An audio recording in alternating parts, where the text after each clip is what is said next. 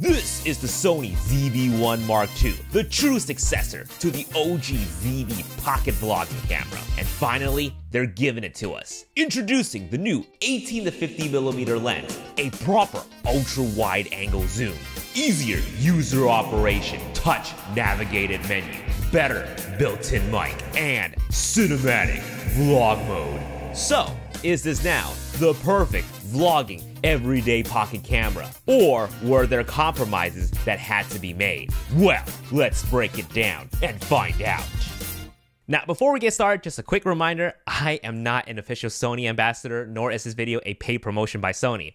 I was sent the product ahead of its release, and all the opinions stated in this video are solely my own. However, this video is supported by a neutral entity, Squarespace, but more on them at the end of the video. Alright, so let's talk about the new lens. 18 millimeter on the wide end. Finally, right? Like, how many years have we asked for an ultra wide angle zoom on these compact 1 inch sensor cameras? And it's been such a huge demand that we have third party accessories that sell these lens adapter converters to make the original ZV1 wider. And don't worry, I'll have a separate video comparing the original ZV1, including adapter, against the ZV1 Mark II in the future. But right now, you might be asking, well, surely after the crop, the 18 millimeter still becomes too close, right? Well, actually, not quite so. You see, I thought the same when I first powered on the camera and thought, oh, wow, yeah, this is wide, but let me turn on active stabilization. But to my surprise, it's already on. So hats off to Sony, you done the ultra wide angle lens right. Now, if you're sweaty, you already looked at the specs, you will already notice that this new lens does not have built-in optical lens stabilization. And trust me, as a user who does not like electronic-only stabilization, the ZV-1 Mark II surprisingly does not have those weird digital motion blurs that you would normally see when a camera or software tries to compensate for the shakes. It still loses out to true optical lens stabilization, but it's not too far off now compared to before. That was a bit of a rough test, let's do something more realistic like vlogging and talking. Now, because it's wider, we see more of the bounce in the corner. It's a little bit more apparent versus the Mark 1's 24mm, but the center frame does not look jarring at all. And that's where the audience will mainly focus on. Putting it side by side, the 18mm does feel better for the selfie style vlogging. So let's talk about the rest of the zoom range, particularly the aperture changes. The moment we nudge the zoom rocker, we would already be at f2. f2.8 at 24 millimeter, and we hit the full f4 at 35mm that's that's rough. All I can say is keep in mind this is not a bokeh heavy camera, nor can we expect it to be. It's a 1 inch sensor after all, you're not getting much to begin with, but do be careful in low light. You can expect the same level of performance between 18mm to 24mm like you would from the previous ZV-1 in low light situations, but beyond that it could be noise city in the dark. Now, coming from the OG ZV-1 with a 70mm reach, you're gonna notice that the reach on the new ZV only goes up to 50mm. Some might see it as a downgrade, but some would say the trade-off of having the 18mm is worth it. And I'm sorta in that second camp. I'm producing a travel series this year, and oftentimes I run into situations where big cameras like this come off as too professional, and I get asked to put it away. But with my RX 100 Mark 7, never had a problem. For four years, for four years I've been raving about this camera's crazy 200mm reach. But vlogging at 24mm does make it a bit of a challenge. That's why I think the 18mm on the ZV-1 Mark II would make a great complement to the RX 100 Mark 7. One for wide vlogging, and the other for distance sniping. Moving on to video quality and I think this is going to disappoint some longtime RX 100 and high level ZV1 users. No 4K 60p. Oh! Oh! No! Why? Why? Okay, alright.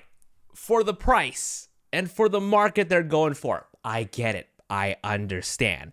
Casual and new users probably don't need 4K 60p. 1080p 60 and 120 is still going to be good enough for most social media platforms, so I can manage my expectations there. But there are going to be some of you who are going to be asking about 10-bit 422. Dog, this is an entry level point and shoot camera, all right? That's gonna be a lot of data for this to be writing 10 bit 422. And I don't think that would be fair. We're not quite there yet. What I think is the next logical step is H.265 XAVC HS 4K 60p at 10-bit 420 in something like this. That format, that codec is still really high quality 4K, but in a much smaller file size, so less data to crunch. But what do I know? I'm not an engineer. I could very well be wrong. However, I am a prosumer, and all I'm asking for is 4K 60p in their next APS-C camera and in the next ZV-1 Mark III. But for now, we may not be the target demographic. Going back to what I said earlier, they are making the ZV series cameras more casual and beginner friendly. If you remember, we have features like background defocus and product showcase, and what's new is the introduction of My Image Style, which works like changing settings on a smartphone. When you're shooting in intelligent auto, you can control exposure and white balance by adjusting the sliders on the screen. You don't need to know how to operate traditional camera settings, and you can get the look you want with sliders and easy to understand terminologies. In addition to touch tracking, we now have touch tracking with auto exposure, which, like on a smartphone, you can tap on an area of the screen and the camera will properly expose for it, and you will have a slider appearing on the bottom to adjust exposure to your liking. Color-wise and skin tones is the same as the ZV-1, at least to our eyes and our skin tones.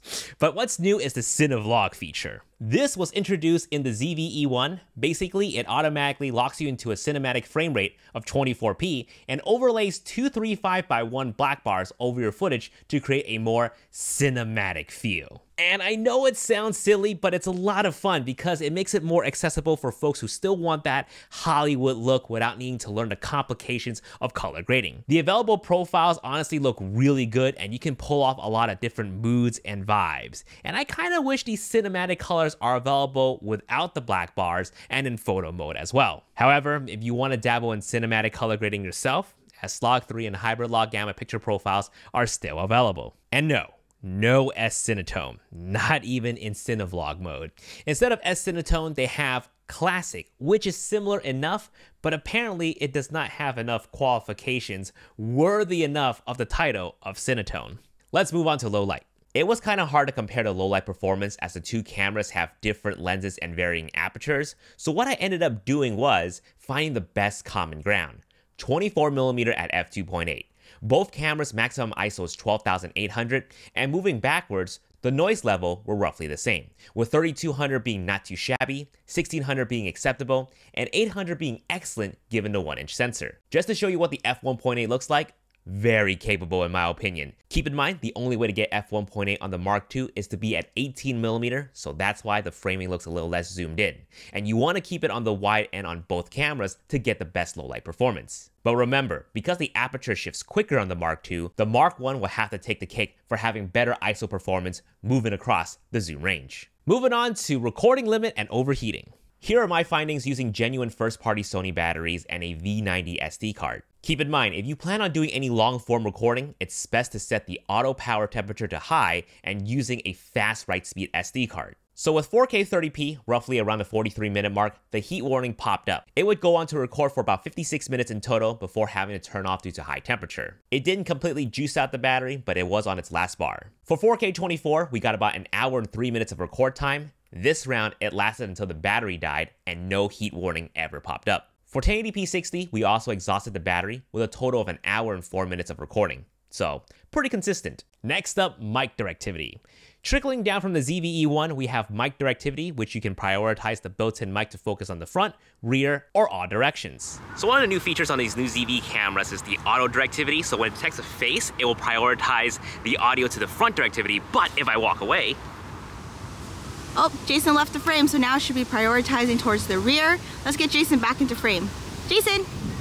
All right, now I'm back into the frame. Thank you for holding the camera for me, and the audio should be kicking back in now. Now, you probably saw we have a new touch interface on the shooting screen as well as the new Menu 2.0 that we've been seeing in the recent Sony cameras. Screen Reader is also available in the Accessibility tab for extra guidance in menu navigation. A lot of the functions can be operated via touch. We even have swipe gestures. Swiping left or right brings up a platter of options, and swiping up will bring up the quick function menu. Moving on to miscellaneous. I'm gonna rattle off some pros and cons that affects me and might affect you as well. Miscellaneous cons.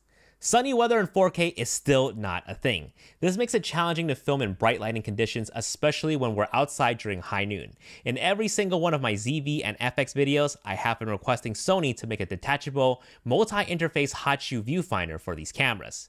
Hopefully, one day, one day, we'll get one. Moving on, the power button and the mode button have always been close to one another, but this time around, the mode button works a little differently.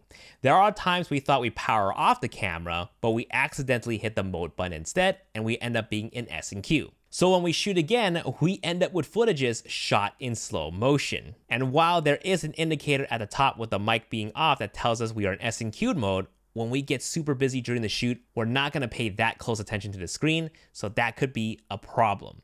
In the original ZV, when you hit the mode button, it at least brought up a mode selection screen, and it would be hard to end up in a different mode unless you click and confirm to something else. Moving on to neutral miscellaneous. Speaking of S&Q, this doesn't affect me personally, but I know there will be a group of folks who will be very sad that the 960 frames per second high frame rate feature is not going to be in this camera.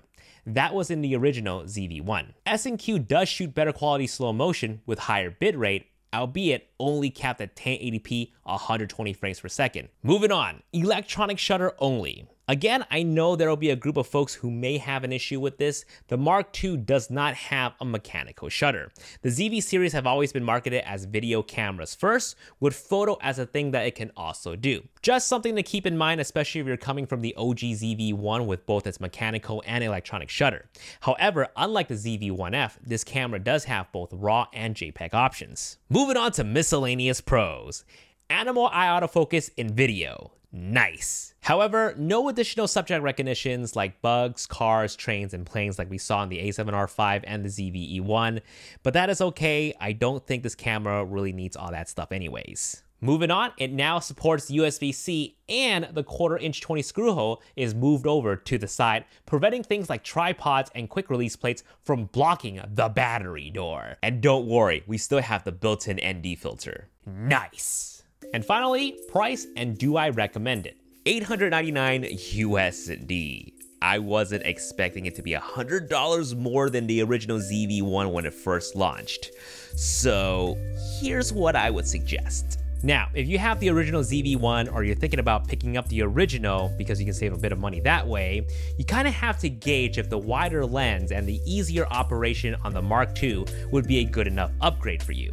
If you just need it to be wider, then again, for just $70, there is that third-party lens converter accessory, albeit it does make the whole setup front heavy. The Mark II is a nice and light package with the ultra-wide lens built in if you can justify the full cost. But if you don't have a ZV-1 or you're coming from an older point and shoot like an RX 100 Mark V or something, and you need something that's easy and simple to use for you yourself or your significant other, the ZV-1 Mark II is worth considering. And for pro users like myself, I do think it's worthy enough to add to our arsenal if we can overlook the 4K 60p. However, I'm not going to be picking it up right away. I'm really happy with the full frame ZV-E1 right now, and I'll continue using my RX 100 Mark 7 alongside with it. But I really do like the 18mm on this little guy, and I'll wait closer to the end of the year to reevaluate and see if this can work for us when we film for our season 3 of Travel Gone Vong. We're currently editing season 2 right now, and you can catch season 1 link right up here. Trust me, our Switzerland film is to be some of the best photography vlog you're to see this year. If you like what I do and want to support the channel, you can do so via super thanks underneath the player, or simply stick around and listen to what my sponsor Squarespace has to say. Squarespace is an all-in-one platform to create beautiful websites. No coding knowledge whatsoever perfect for people like me because I just want to make YouTube videos for you guys and not have to worry about coding my entire website. Simply just select one of their templates to get started. Every aspect is easily customizable with their drag and drop feature. Whether you're in need of a portfolio, an e-commerce store, or even a simple blog, design it with Squarespace. Use my link down below to test it out, and when you're ready to launch your first website or domain, use my code JasonVong to save 10% off. Guys, thank you so much for watching. I'll see you guys in the next video. Peace.